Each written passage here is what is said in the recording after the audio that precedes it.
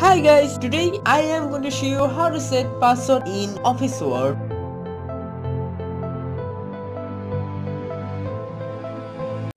So now I am just creating another office word. Now I am gonna name it test. You can name it anything else if you want to, if you have created another file. So now I'm just writing meow meow says the cat. You can write anything you want to. So now you need to go to that office icon. Now go to save as and select the format you want to save it. Now you can see tools, go to that option. Now you need to go to general options.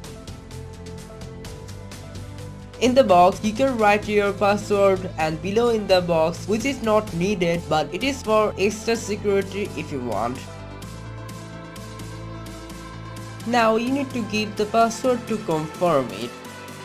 Now click save. So I have closed it and I am going to open it now.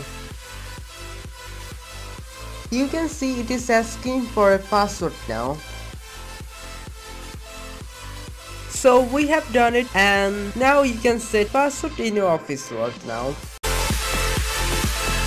Thanks for watching and if you like my video please like it and subscribe me for more videos. Thank you guys.